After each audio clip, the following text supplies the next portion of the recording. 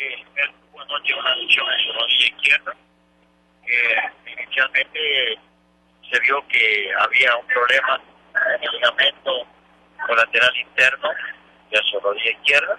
Se le ha hecho la resonancia, pues esperamos el resultado de los exámenes realizados de mañana, más la evaluación médica que hará mañana temprano el doctor Barredo, y ahí se tomará cuál es la decisión a seguir.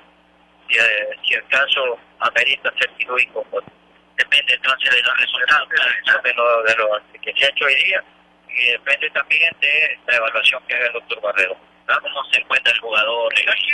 Confiado de que se le van a hacer bien las cosas, que da pena que no esté durante alguna semana en la cancha, pero que de todas maneras va a recuperarse y va a recuperarse. Usted como médico tiene mucha experiencia en de lesiones. En casos como estos, pues se han visto muchísimo. No se puede decir un tiempo de recuperación, no, porque los pacientes son diferentes. ¿no?